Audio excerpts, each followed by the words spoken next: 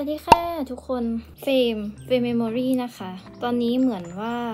จะประกาศแล้วหรือเปล่าไม่แน่ใจนะคะ มีคนมีคนส่งบางอย่างเข้ามาในไลน์กลุ่มเอ่อคนที่สอบติดภาคกอภาคขอด้วยกันนะคะ อันนี้ก็คือประกาศผลภาค คเนาะก็ลุ้นลำดับนะคะว่าจะได้ลำดับที่เท่าไหร่ ซึ่งอาจริงก็ไม่รู้ตัวเองเหมือนกันนะว่า อยากได้ลำดับที่เท่าไหร่ รอบแรกก็ได้ รอบต่อไปก็ได้นะคะ ถ้าได้รอบแรกก็เราก็กลัวเหมือนกัน เพราะว่าเราต้องไปทำงานใช่ไหมแล้วมันจะเข้าสู่สังคมการทำงานจริงๆเนาะเพราะว่าหลังจากที่เฟรมเรียนจบมาเฟรมก็ยังไม่ได้ทำงานเอาล่ะ เดี๋ยวเรามาดูกันนะคะว่า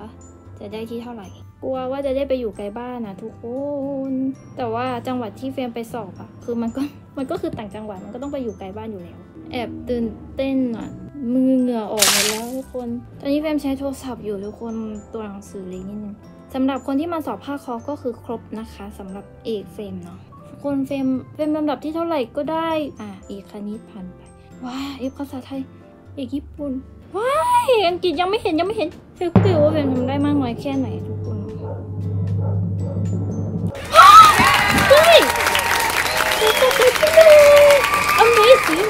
เดี๋ยวเดี๋ยวเดี๋ยวเดี๋ยวเฮ้ยใจเต้นเร็วมากแล้วงงมากโอ้ my goodness ฮะโอ้ไม่มีโรงเรียนค่ะสาว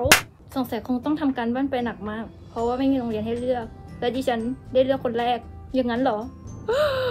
เราจะให้ทำยังไงอะทีเนี้ยสอบได้ที่หนึ่ง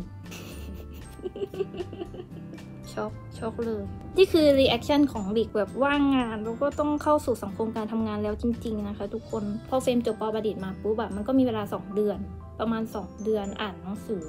สอบใบประกอบ แล้วหลังจากนั้น พอสอบใบประกอบเสร็จก็มีเวลาอ่านหนังสือครูผู้ช่วย ซึ่งเฟรมก็อ่านหนังสืออยู่บ้าน จะว่าดีใจไหมก็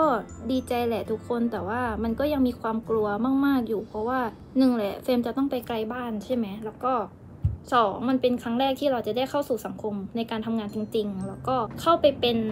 ทรัพยากรสำคัญในทางเศรษฐกิจของประเทศรู้สึกว่ามันก็ยิ่งใหญ่ ก็จะทำเต็มที่นะคะ ก็ จะเป็นคนที่อ่าบ่มเพาะคนให้เข้าสู่การเป็นทรัพยากรที่สำคัญของประเทศชาติต่อไป